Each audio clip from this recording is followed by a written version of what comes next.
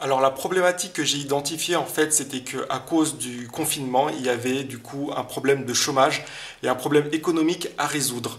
Euh, la solution qu'on propose aujourd'hui eh bien c'est de former et de développer euh, des travailleurs indépendants et autonomes chez eux euh, à domicile grâce au métier du web. Mada All Star, il s'agit en fait d'un site web qui va proposer des contenus de formation. Donc on a déjà un certain nombre de, formations à notre disposition que je vais valider avec euh, les personnes qui ont bien voulu nous les mettre à disposition. On a des formations sur euh, le community management, sur euh, la rédaction SEO, sur le développement web. Voilà, tous ces métiers du web qui peuvent, qui peuvent être pratiqués à domicile et où on peut se former à domicile. Et après, le, après la crise du coronavirus, eh bien on pourra orienter ce projet vers une association qui viserait à encadrer un peu le statut euh, de freelance à Madagascar pour permettre à ces personnes de développer une activité indépendante et euh, en toute autonomie euh, chez eux grâce à une bonne connexion Internet